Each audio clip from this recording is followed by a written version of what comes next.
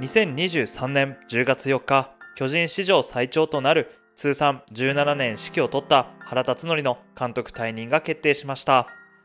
3年契約の2年目となった今季は若手を積極的に起用するなど育成にも尽力しましたが結果は4位。3年連続で優勝を逃すどころか2年連続でクライマックスシリーズにも残れず球団史上初となる同一監督での2年連続 B クラスという屈辱を味わいました上昇が義務付けられてきた巨人にとってこの結果は受け入れがたいものでこの退任は仕方のないことだと言わざるを得ません。またシーズン途中からその起用法が批判されることも多くこうなることを予想していた方も多いでしょう。最後は華々しい終わりではなかった原政権ですがこれまでに数多くの功績を残してきました。そこで今回は原辰徳の監督人生を振り返っていきます。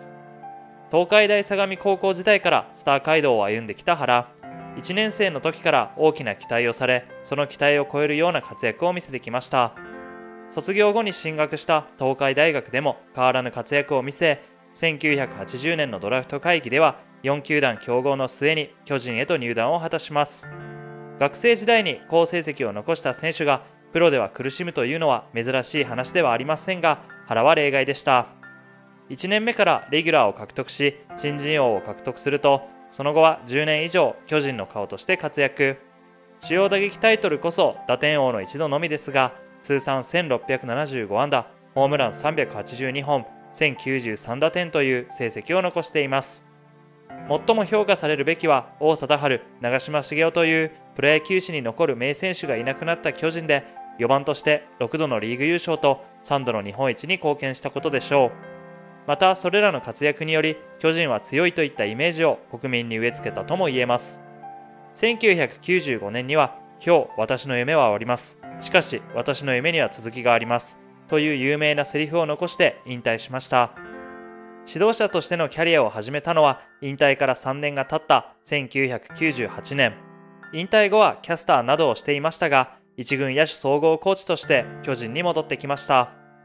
就任当初は外野ノックでスタンドインさせるなど不慣れな様子を見せ天然な春らしい姿も見せていましたが指導者としても徐々に慣れていき2年後の2000年には監督の長嶋茂雄のもと一軍ヘッドコーチに就任。2001年シーズン後半からは長嶋直々に後継者に指名され指揮を任されていきます。そしてリーグ2位で終えた2001年。優退した長嶋の後を継ぐ形で新指揮官に就任しました。9年間でリーグ優勝3度日本一2度に輝いた第2次長嶋政権を引き継いだ原。プロ野球そのものと言っても過言ではない長嶋の後を継ぐというのは並々ならぬプレッシャーがあったはずです。しかし原はそんなプレッシャーをものともせず1年目からその手腕を発揮していきます。故障で離脱がちだった川原純一を抑えに2番に定着していた天才清水孝之を1番にそれぞれ抜擢。また先発として不甲斐ない結果が続き中継ぎ起用が増えていた桑田真澄を先発に復帰させるなど大胆な選手起用を次々に打ったのです。そしてそれは見事にはまりました。川原は28セーブを挙げ清水は長打の打てるリードオフマンとして活躍。桑田は4年ぶりの2桁勝利となる12勝を記録し最優秀防御率のタイトルを手にしました。故障者が多かったこの年の巨人ですが適材適所の選手起用により勝利を積み重ね就任1年目ながらリーグ優勝を達成。その勢いのまま日本シリーズで西武を圧倒し4連勝での日本一。就任1年目でのリーグ優勝と日本一文句のつけようのない成績を残した原。ですが翌2003年にリーグ3位に沈むとあっさり解雇され原政権はわずか2年で終わってしまいます。わずか2年で終わった第1次原政権ですが第2次原政権が誕生するのに時間はかかりませんでした。原の後任だった堀内恒夫が2年連続で優勝を逃すどころか2年目の2005年は8年ぶりの5位で今でも球団ワースト記録であるシーズン80敗を記録。その責任を取る形で堀内が退任すると再び原に声がかかり3年ぶりとなる第2次原政権が誕生したのです。前年に厳しい現実を突きつけられた巨人はこのオフお家芸とも呼べる大型補強に乗り出しましたイ・スンヨプ、野口茂樹、豊田清を次々に獲得大幅な戦力アップに成功したのです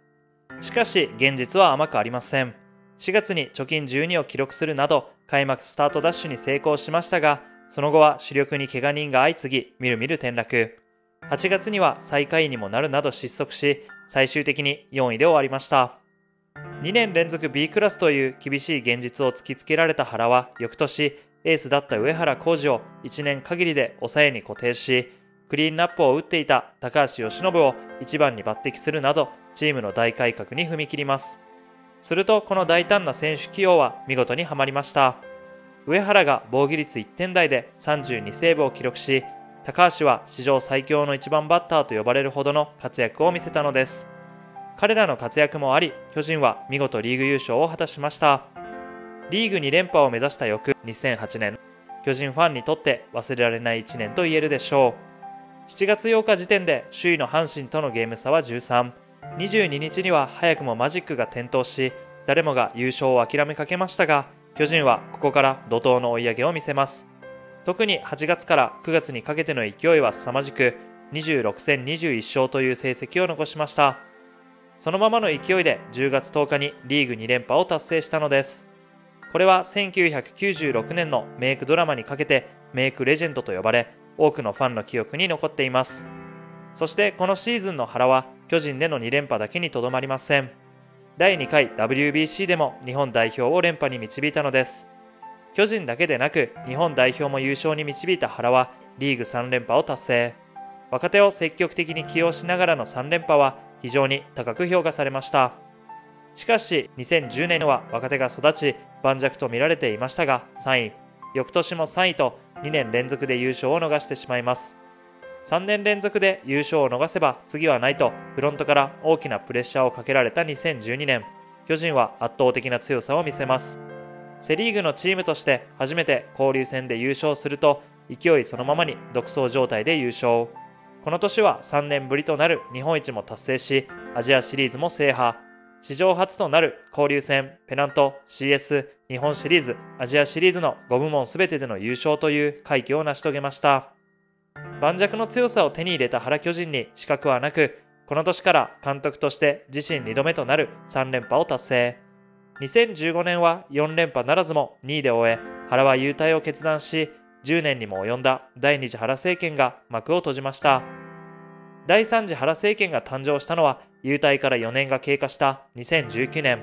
原の後任だった高橋由伸が3年連続で優勝を逃し、巨人はまたしても原に頼ることになりました。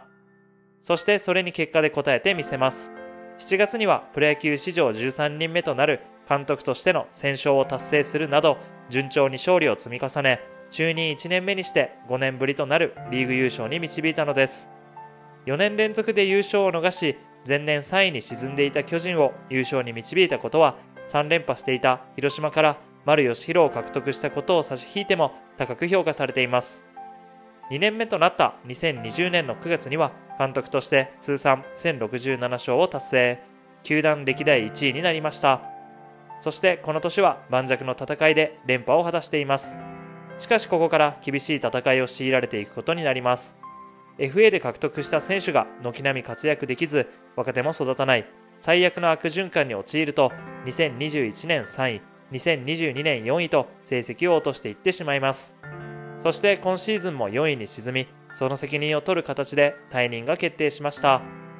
チームの低迷の責任を取る形での退任でしたが、最終戦後に行われた約9分間にも及ぶスピーチ中に涙する選手が多くいたことからも原辰徳という監督が選手たちに残したものは大きかったと言えます。またファンからも感動したという声が多くありました。どれだけ原という監督が愛されたかそれがわかる瞬間だったと言えます。最後はチームの低迷の責任を取るという形で退任した原。しかしこれまでに残してきた功績はどれも素晴らしいものです。また大型補強という今では負のイメージと言ってもいい言葉がついて回った巨人の監督だからか勝っても名称という言葉はあまり使われなかったように思えます。しかし監督としての勝率はあの落合博満や岡田彰信といった監督と比べても遜色ない数字を残しました。実力のある選手で固めた年もありましたが優勝した年には原の大胆な選手起用が欠かせなかったことからも名称にふさわしい成績を残したと言えます。第4次原政権があるのかは全く分かりませんし、もういいという声もありますが、今後も巨人という球団にとって唯一無二の存在であることは変わらないでしょう。それでは今回の動画がいいと思った方は高評価とチャンネル登録よろしくお願いします。